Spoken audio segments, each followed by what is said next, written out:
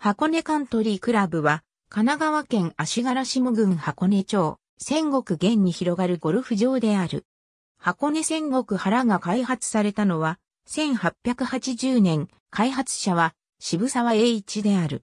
1917年7月、戦国原に戦国ゴルフコースが開場した。その後、1954年、箱根温泉供給株式会社が中心になり、パブリーツクコースの18ホールとメンバーシップコースの18ホールのリゾート計画が作られたが、実現されたのは、奥箱根カントリークラブのメンバーシップコースの18ホールのみであった。しかし、赤星四郎から提案が出て、提案通り正式決定され、理事長は渋沢秀夫が就任した。1953年12月、コース設計は赤星四郎が、工事は清水建設株式会社が行い、インコース9ホールが完成し、翌年の1954年7月4日、開場した。1年後の1955年、アウトコース9ホールが完成し開場した。クラブハウスは山小屋風の作りで、風に翼を広げた姿だった。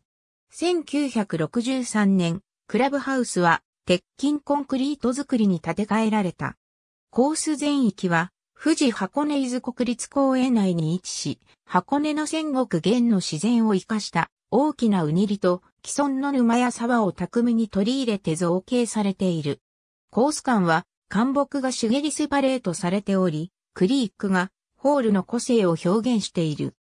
各ホールは距離も十分あり、デザイン化されたバンカーがティーショットの戦略性を高めている。また、日本の女子プロゴルフメジャー大会の一つ、日本ゴルフ協会主催競技でもあり、日本選手権大会に相当する日本女子オープンゴルフ選手権競技大会などの大会開催の実績がある。郵便番号250-0631神奈川県足柄下郡箱根町戦国源泉245番地。ありがとうございます。